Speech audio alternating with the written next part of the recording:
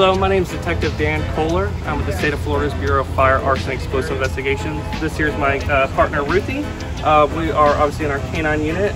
Uh, one of the videos that you're going to see here is Ruthie searching uh, the burn building here at Seminole County's fire grounds. Um, Ruthie's an accelerant detection canine, so she's looking for any type of an accelerant inside of a fire scene. So in the video, what she's doing is she's looking uh, through the fire scene to see if there's any accelerants in there.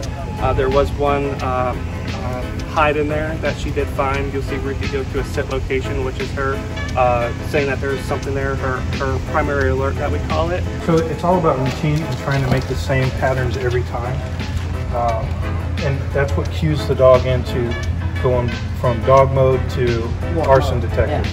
You'll see me reward Ruthie with uh, food. Ruthie's a food reward dog, so she uh, she eats when she's working or training.